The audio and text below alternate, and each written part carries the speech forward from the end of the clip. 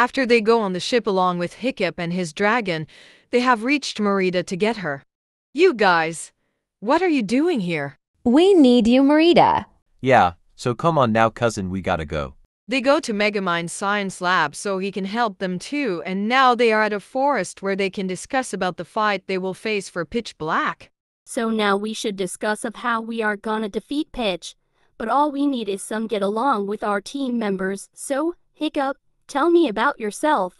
Okay, well, I'm a young fellow Viking in Berk who is the future chief, and I met Elsa there at Arendelle when we were young and we fell in love so we dated. But, until one day Pitch took half of our village and killed my father. Oh my god, oh, did he? How did it happen? He came back from his dark lair, and he threatened to take Berk, and I said no so we would make a fight and final defeat him when he tried to hurt Jack Frost.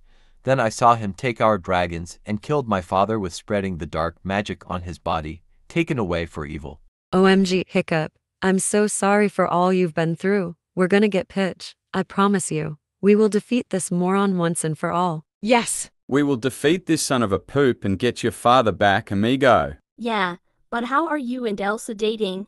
I mean, I've saw you as cartoons after you got back, and I've always assumed you were with Astrid. Is the multi-crossover real? Yeah, me and Astrid broke up because she always treated me badly and always aggressive at times because she wants to be perfect until I found out Elsa is her twin cousin and we pulled up so we fell in love. But there was war in our kingdoms, and Elsa had to pretend to be Astrid cause we had no choice and I was forced to marry Merida, who is royalty, and she is my cousin so we had to also pretend because her mom wasn't agreeing that we have our own lives and we're just best friends.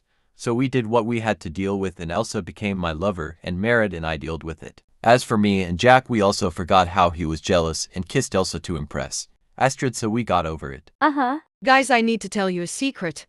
But please don't be mad. Sure. Well, when me and Hiccup pretended I kinda had a small crush on him because mom forced me and I had to control myself and it was hard to act dot dot so oh when Elsa told Hiccup that we wouldn't go and act in a romance movie when we were in high school we did anyways and that made her angry. But I explained that it was because of mom forcing us for the kingdom's money and marriage to reunite kingdoms and that we aren't in love and I was very disrespectful to her when we were young and never hated her. But it was hard times to deal with my feelings and I know what I wanna be now. OMG. Mare, I'm so glad you told me, and I forgive you.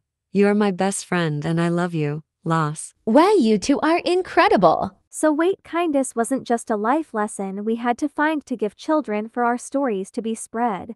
The first person who had learned their lesson and know who they are now to finally spread their story to children in the real world.